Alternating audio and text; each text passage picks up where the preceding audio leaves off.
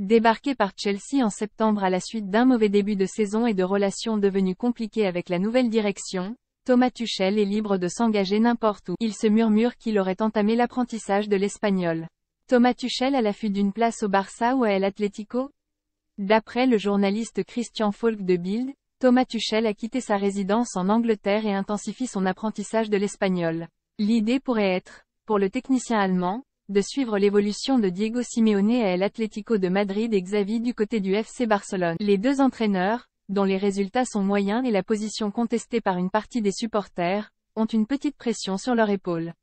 Le club Blaugrana, bien que leader de Liga avec deux points d'avance sur le Real Madrid, a été éliminé en phase de groupe de la Ligue des Champions pour la deuxième année consécutive, ce qui passe assez mal auprès des fans, même si la légende Xavi reste une icône en Catalogne. Les Colchoneros sont une situation encore plus chaotique, et même si Diego Simeone, au club depuis 2011, a toujours su redresser le navire lorsqu'il tanguait, le club et lui-même pourraient décider de cesser leur collaboration si les résultats ne s'améliorent pas.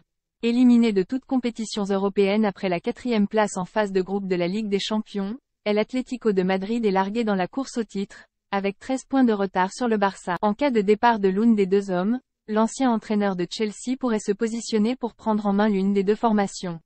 Un divorce compliqué avec Chelsea Les mauvais résultats sportifs n'étaient pas la seule raison de l'éviction de Thomas Tuchel à Chelsea. Des tensions auraient émergé en coulisses au cours de l'été, ce que Tuchel a régulièrement laissé entendre lors de ses conférences de presse. Il avait ainsi répété ne pas apprécier les responsabilités supplémentaires confiées sur le mercato, avait révélé la presse anglaise. Ce rôle officieux de directeur sportif intérimaire impliquait des contacts quotidiens avec les nouveaux actionnaires.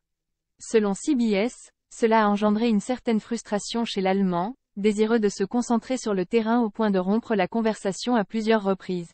Les nouveaux propriétaires y auraient peu goûté en estimant que Tuchel aurait pu faciliter davantage des transferts, notamment ceux de Rafinha et Jules Koundé, ardemment courtisés par les Blues avant de leur filer entre les doigts pour rejoindre le Barça. Déjà au PSG, la cohabitation entre Thomas Tuchel et Leonardo, devenue invivable sur la fin, avait conduit au départ du technicien allemand.